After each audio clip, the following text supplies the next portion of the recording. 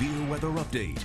All right, we have our first tornado warning of the day. This is going to be for northwest, northern Harper and northwest Woods County. This is the storm that we have been tracking. It is now just to the northwest of Buffalo. This tornado warning until 345. The most uh, area of concern is going to be this just to the northwest, excuse me, northeast of Buffalo. And this is far northern sections of Harper County. The movement on it is fairly fast. I mean, it's not going to take long before this system is uh, all the way into uh, Kansas. Got the circulation here. This is going to be north of Highway 64 in Harper County. In addition to the tornado warning and the tornado threat, going to have some large hail likely with this as well.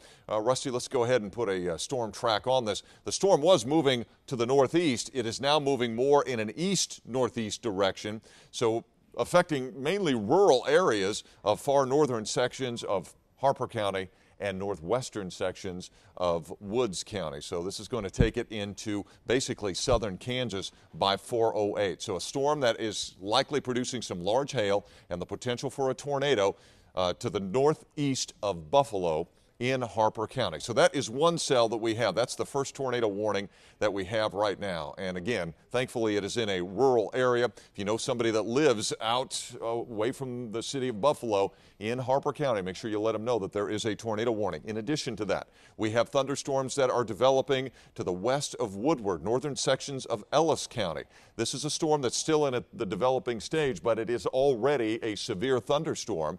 This uh, severe thunderstorm warning affects Ellis and Woodward County, western Woodward County, until 4 p.m. Storms will be capable of golf ball size hail. Okay, just went tornado on this. It's going to be one of those days, folks. It's going to they're going to change just like that. So a new tornado warning. Now we have two tornado warnings.